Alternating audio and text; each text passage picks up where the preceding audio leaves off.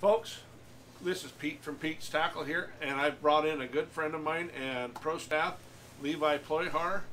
Uh, this is Levi. I'll let you give you a little bit, let let him give you a little bit of his bass fishing background and fishing background, and then I will start asking him a few questions.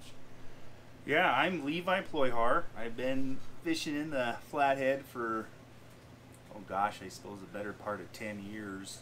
Grew up in the uh, Ronan Polson area to start with, um, and have been bass fishing and fishing for all different species for years and years and years. Um, better part of 20 something years, I guess. And uh, we're over here at Pete's Tackle, and we're going to talk a little bit about about bait cast rods and stuff for those guys that don't know too much about bait casters, how to set them up for crankbaits or worms or anything like that. You know, because I know there's different settings on them, Mhm. and I and I'll personally say I'm green to it. I know enough from being around you, Levi, and and a few other guys that fish bait casters quite a bit, but I'll reach in and grab a spin rod over a bait caster nine times out of ten. And but I'm starting to force myself to learn how to use these bait casters, learn how to use them properly.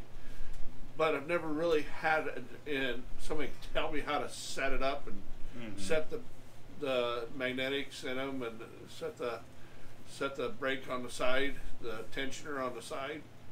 So, what do you do? Well, I mean, you, this here, you know, is a bait caster that you would, I, you know, you would use for crankbait fishing, probably Mhm. more than anything. Um, I mean, these come in left hand and right hand. You know, I'm a lefty. I've had people say I'm a righty. I've had people say never trust a guy that cranks with his left hand, but I do pretty good cranking with my left hand. but these never used to have a left hand crank; they always used to be on the right. Right hand side. Yeah. This Yep. is this is within the last probably 10, Twelve years. 10 or twelve years that they've they've got these out, which is really nice for me because you know when you grow up with a spinning reel your entire life, reeling with your left hand, And that's how I am. it's just really hard for me to jump over to a right hand reel. But anyway, this is what you want to use for a bait caster. I like to use a gear ratio of about 6.4 or 6.8 when I'm cranking. I don't like a high speed crank. I know for some people they like that high speed reel speed because they can just sit there and they can barely turn it. But I like to be able to turn it in rhythm with my bait and I just feel way more confident with like a 6-4 ratio or a 6-8 ratio or something like that. I don't like a super fast. And when you're turning that bait, you know, with that lower gear, it's easier too. Especially if you start fishing like a bigger bigger bait, like a deep diver or something like that, Yeah. and you're trying to turn it with like a 7-4 or 7-5 reel ratio, it gets hard. I mean, if you try to throw that all day long, it's much easier if you go down in your gear ratio and just be able to wind that thing easily. Well, that that that's that's what a lot of bass young people coming up into the sport don't know. Mhm. Uh, even me working in a sporting goods store years ago, uh, trying to explain. Uh, we had the lower gear stuff when I first started fishing with bait casters. We had the Abu Garcias and stuff like that, and a few Shimano's and stuff like that. But these newer reels are so well tuned, but you got you could have 15 reels for diff- different opportunities. Well, yeah, and there's a reason they make different ratios of speed. I mean, there's a reason they do that. It's because you don't want to be pulling in more line than you have to.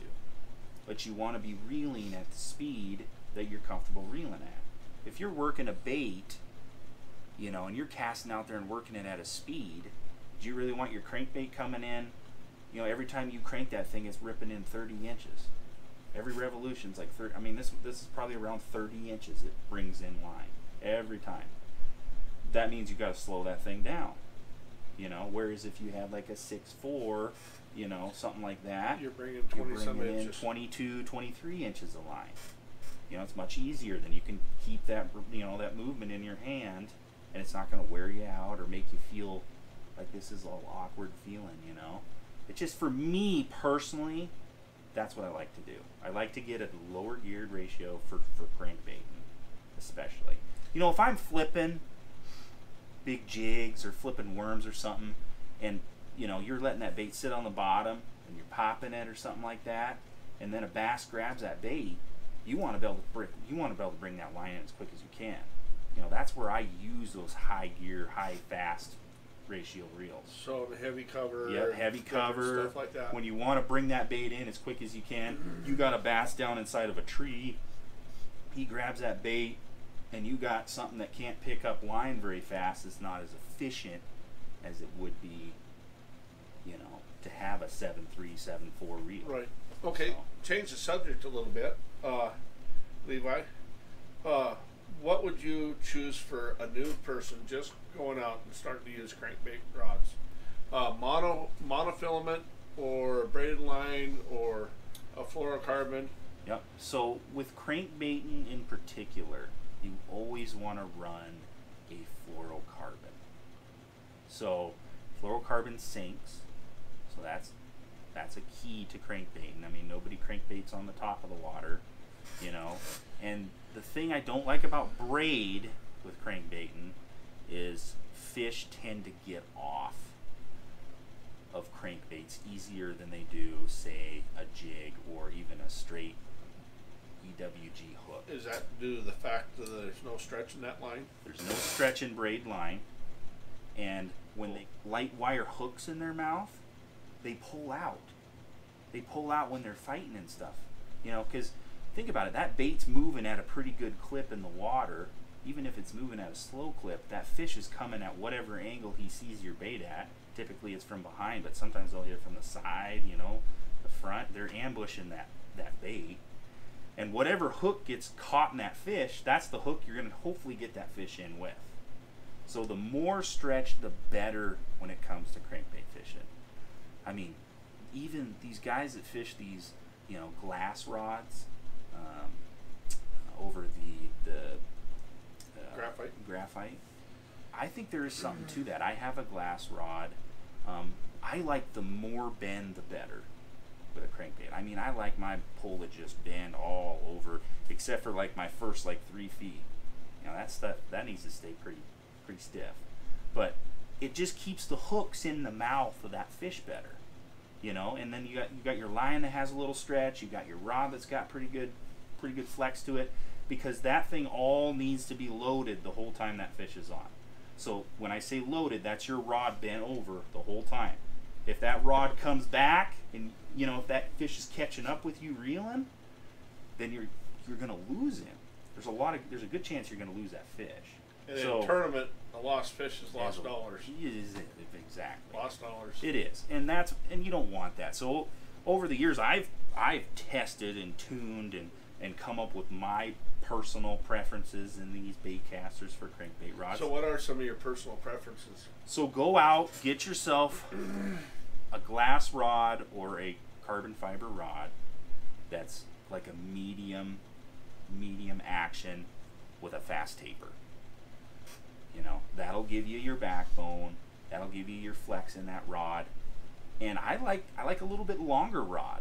I don't like anything really That's less. six, six, seven foot. Yep, seven foot. I like the seven foot. I'm pretty tall, so seven foot's kind of. I don't really like going That's below seven I, I fish seven foots. Um, and yeah, you just you just a newcomer and get a reel that has a little bit lower gear ratio.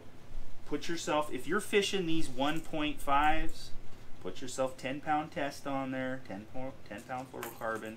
If you're gonna go up something bigger, you know, go 12, 15, you know, fluorocarbons, and that those are the lines I would use for crankbait fishing. You're gonna get you're gonna get that stretch. You're gonna get that. You know, you don't want that stiff hooks pull out of your mouth type stuff. You know, so rod and reel are very important, and line to keeping those fish pinned.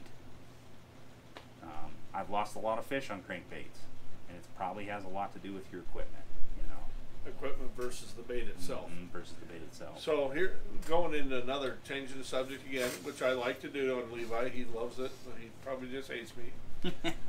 with that other rod there Yep. that's rigged up with a blade bait, how would you set that reel up for that blade bait or a crankbait so they understand a little bit of the drop and everything so it casts fairly well for them, and how to set up their for casting. Um, so the way I would do it um, is to tie your bait on, um, and then when you tie your bait on, I just take and I, I flip my bail with my bait hanging off. Here, I can take it. Get that for you. I do. So a, I would- I do a wrap on my rods. Uh, a friend of mine, Rick, taught me this years ago. It was before we had rod Rod sleeves. rod sleeves and stuff. Know. To wrap it and don't get caught up in your so much in your. Uh,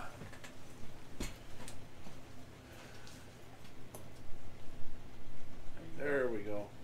So yeah, so then I would take this bait, and I would Oh, got me. got you on the jeans. there. Set the hook. So then you take the bait and you watch how fast that comes out. Okay. So We might want to bring that into the camera a little bit more. try to here. So the bait, um, basically this bait, when you flip that bail over, that bait should come out like that. You see how that bait just comes out? That's about right. You got a little bit of it in the spool there, but um, if that bait's falling out really fast, let's say I let that bait out and it hits the, the ground, and I got a big ball, a big rat's nest here in my reel, like it just balls up, that means you're too loose. Too loose. You're too loose. So the way you would, you would tension this is with this thing right here. This is your tensioner. So you go back to tighten it, forward to loosen it. On most of them, some of them I think are a little different. Some have clickers in them. Yep. And And then, so then you would do that until you get this thing dialed in. Because man, if you fling this thing out there and it's too loose, you're gonna ball this reel up and it's just gonna be a disaster. Especially with these, because they're kind of lightweight. Got to be careful. So you want to you want to mess with that a little bit, and then over here you're gonna have this is your braking system. Always start out on a pretty high brake system. Like they have max, and then they have free. Free would be no brake at all okay. and to throw a bait free without really watching it, you're gonna get a bad rat's nest. You're gonna ball that thing up. I know all about those. really bad. And then wind in the wind and stuff. There's just things you got to do. You got to tweak them. I'm always tweaking my reels. Always. So you want to. So you want. I'm just checking them when I flip the bail over, let it go down. Flip the bail over, let it go down. And then I. And then I do a practice cast. You know. Okay, that's good. Because if I go from a 1.5 to a 2.5, there's Totally a difference. Totally There's a difference. You got to change it because with this, this heavier bait, it's going to go further out there, but it may just ball me up unless I change my braking system or this magnetic system over here. You know, it's just it's weird how these work. But Oh they're wow, once just, you get the hang of it, they're pretty easy. But for beginners or people that are just starting out with these, you know, flip that bail over and see how tight that line is coming out of there. You want it to come out freely, but you don't want it to just go flying to the floor when you flip the bail over and boom, and then the line just goes like that and balls up. You don't Yeah. want that. You so- don't want to have it too tight where you throw your rod over the boat. Exactly. Either. Didn't that happen Yeah. last weekend with me? So yeah, you don't want to throw your rod in the water. This this one was in the water, fully submerged, but Ben or uh, Pete, Yeah. he saved it. So, uh, but yeah, you, these these bait casters are the way to go though when it comes to crankbait fishing, and a lot of fishing. They really are. They're so much more efficient when it comes to casting and reeling, and it, they pick up line so much smoother. And they're I so found what I found a little bit of I'm doing with them now is that I'm getting less fatigued Mhm. than I did with a spinning reel. Yep. In certain situations, we were out jigging for lake trout this last weekend and pitching them out and bringing them back. I had no fatigue in my arm until I caught that back. Yeah, big one. Yeah, Yeah. but needless to say, they're a versatile rod. You can use them for Big fish. Yeah, all kinds You know, all kinds of fish. It's just All not just strictly for bass. yeah, So yeah. They're just they are the way to go for a lot of baits, uh, and people shouldn't be afraid of them. I know certain people probably are like intimidated. Like I've always used the spinning reel. I can't use a bait caster. Well, yes, you can. I mean, it's a t- it's a technique change. it It's a little bit of technique change. Now, what do you recommend for somebody that buys one and wants to learn how to cast it? Do you just go straight out to the water and start using it, or do you recommend I practice in your yard a little bit Practice at your house. Yeah, I do some practice, and I mean, when you get it, get it spooled up, put some dummy bait on there, and cast it around, get the hang of it. I mean, it's going to be a lot better than just going out and being all pissed off when you're trying to catch fish. You know what I mean? And, and yeah, the rat's nest will do that to you in a heartbeat. Mm-hmm. yeah. I mean, even the best guys. yeah. So, what are some, some of the? I'm going to change it up a little Yep. bit. Uh, well, but I'll let you finish what you were going to say.